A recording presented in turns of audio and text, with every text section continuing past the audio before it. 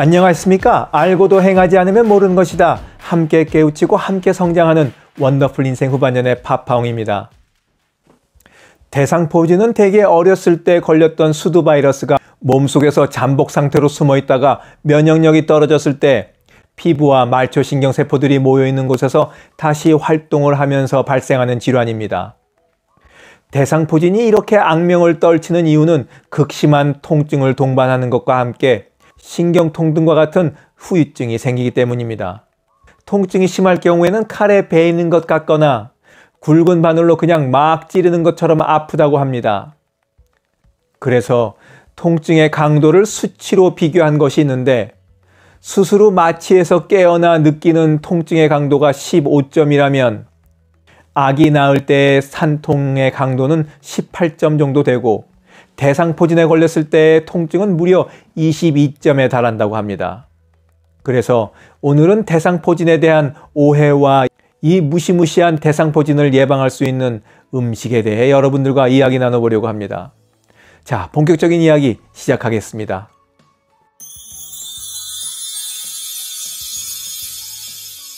대상포진은 우리나라 국민 3명당 1명꼴로 발병하고 남성에 비해 여성이 1.5배 더 많이 걸리고 또 최근 8년 동안 50% 이상의 발병률이 증가한 질병입니다. 많이 걸리고 또 계속 증가 추세로 있으니 아주 위험합니다. 근데 대상 포진에 대한 우리가 갖고 있는 잘못된 오해가 있습니다. 자, 지금부터 하나하나 그 오해에 대해서 말씀드려 보도록 하겠습니다. 대상 포진에 대한 오해. 첫 번째, 노인성 질환이다. 아닙니다. 잘못 알고 계신 거예요. 대상포진을 노년기에만 걸리는 질환으로 알고 계신데 그렇지 않습니다. 대상포진에 대한 마케팅이나 정보를 제공하는 미디어 대부분이 이 연령층을 타겟으로 하기 때문에 생기는 오해입니다. 통계에 따르면 대상포진 환자의 약 50%는 60세 이상이라고 합니다. 많이 걸리긴 해요. 그래, 거 봐. 50%라잖아. 노인성 질환이네. 아닙니다. 아니라고요. 60세 이상의 비율이 많긴 하지만 바꿔서 말하자면 50%는 60세 이하라는 말이 되지 않습니까? 또 최근에는 중장년층은 말할 것도 없고 20대, 30대에서도 대상 포진에 걸리는 경우가 점점 많아지고 있습니다. 면역력 저하가 반드시 노년층에서만 일어나는 일이 아니지 않습니까? 야근에, 과음에, 스트레스가 심하다 보면 청년들도 면역력이 떨어질 수 있고 이때 대상포진 바이러스가 짜잔 하고 기회를 잡는 거겠습니다. 대상포진에 대한 오해 두 번째, 백신으로 예방할 수 있다. 안타깝지만 광고에서 나오는 것처럼 백신을 맞으면 대상포진을 100% 예방할 수 있는 것이 아닙니다. 단지 발병 위험을 좀 낮추거나 걸리더라도 심각한 증상으로 가는 것을 피하는 데 도움이 되는 것이죠. 요즘 우리가 맞고 있는 코로나 백신과 같은 이치겠습니다. 사실 백신 맞는다고 병에 걸리지 않는다는 것은 애시당초부터 불가능한 일을 기대하는 거죠. 전문가들에 따르면 백신은 대상포진 발병 위험을 약 50% 정도 낮출 수 있다고 합니다. 그리고 걸렸을 때도 증증이나 합병증으로 가는 것을 막는 데 도움이 되기 때문에 60세 이상 연령대에서는 백신 접종을 권장하고 있는 것이죠. 백신 맞았으니 대상포진 안 걸릴 거라고 면역력 떨어뜨리는 생활 습관을 계속 하시는 분들이 계실 수도 있겠는데 그러시다가 큰 고 다칠 수 있습니다. 대상포진에 대한 오해 세 번째 한 번 걸리면 다시는 안 걸린다. 대상포진에 한 번 걸렸으니까 이젠 다시는 안 걸릴 거라 믿고 계신 분들이 많을 수도 있겠는데 죄송스럽지만 그렇지 않습니다. 한 번 걸렸더라도 언제고 면역력이 떨어졌을 때 다시 걸릴 수 있습니다. 면역 체계가 약하면 대상포진은 언제든지 다시 찾아올 수 있습니다. 연구에 따르면 60세가 넘어 대상포진에 걸린 사람 중 3년 이내에 대상포진이 재발할 가능성은 항상 존재하고 대상포진을 3번까지도 걸린 사람이 있다는 조사 결과도 있습니다. 대상포진에 대한 오해 네 번째 수두를 약하게 알았어서 대상포진에 안 걸린다. 천만의 만만의 말씀입니다. 애시당초 수두를 전혀 앓지 않았다면 모를까 약하게라도 수두를 알았다면 몸 안에 수두 바이러스가 존재한다고 생각하셔야 합니다. 더구나 어렸을 때 수두를 알았더라도 기억이 없을 수 있으니까 방심해서는 안 될 일입니다. 내 몸 안에 바이러스의 존재 유무가 기억에 따라 결정되는 것은 아니니까요. 전문가들은 수두를 약하게 알았더라도 나중에 대상포진에 걸릴 수 있다고 말합니다. 대상포진에 대한 오해. 다섯 번째, 마지막. 대상포진은 쉽게 고칠 수 있다. 피부 발진과 같이 피부에서 생기는 대상포진의 증상을 없애는 데는 보통 2, 3주가 걸리고 통증을 잡는 데는 1개월에서 3개월까지 걸리는 것으로 알려져 있습니다.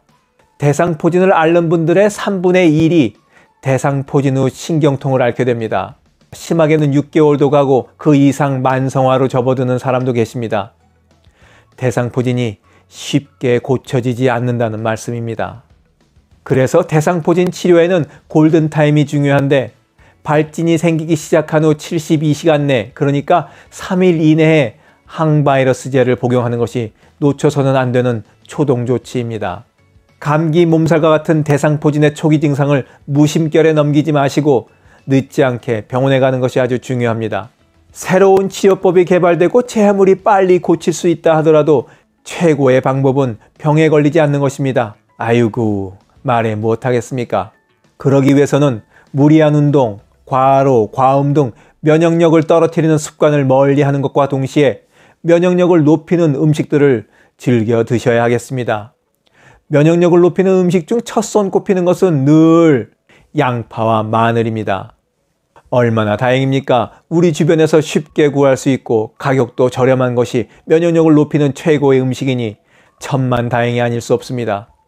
면역력을 이야기할 때 우리가 주목해야 할 두 가지 물질이 있습니다. 하나는 항산화 물질인 케르세틴이고 두 번째는 알리신이라는 아미노산입니다. 케르세틴은 항산화 물질로 채소나 과일에 많이 함유되어 있는데 항바이러스와 항균 작용이 높은 것으로 알려져 있습니다.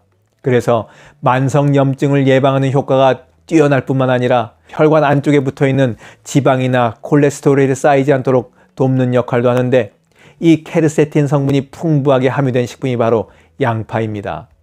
또 한편 마늘의 매운맛과 독특한 향을 풍기는 것이 주 성분인 알리신이라는 아미노산입니다.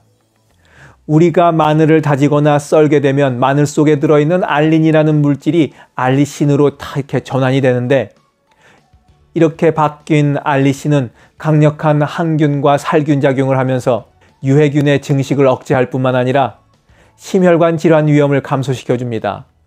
양파에도 이 알리신이 풍부하게 들어있는 것으로 알려져 있습니다.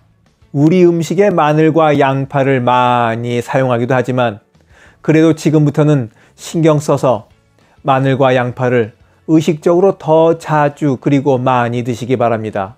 그래야 면역력이 높아지니까 말입니다. 영상을 보신 모든 분들이 면역력 쭉쭉 올려 대상 포진 걱정 없이 살아가시길 바라면서 오늘 이야기 마치도록 하겠습니다. 원더풀 인생 후반전에 건강 이야기는 계속됩니다. 감사합니다. 자랑질, 지적질, 아는 채, 있는 채 하는 사람들에게 지치셨죠? 상대방의 얘기 경청하고 익은 벼처럼 겸손한 사람들이 모인 곳이 있습니다. 바로 네이버 카페 실버들의 전성시대입니다. 너무 가깝지도 너무 멀지도 않은 친구가 필요하다면 네이버 카페 실버들의 전성시대로 오시면 됩니다. 아래 댓글란 맨 위에 초대글을 올려놓을 테니까 클릭하고 들어오시면 아주 간단하게 회원가입이 됩니다. 아참, 냉소적이고 비아냥거리고 자기 주장 강하고 남 얘기에 이죽거리는 분은 죄송하지만 절대 사양합니다.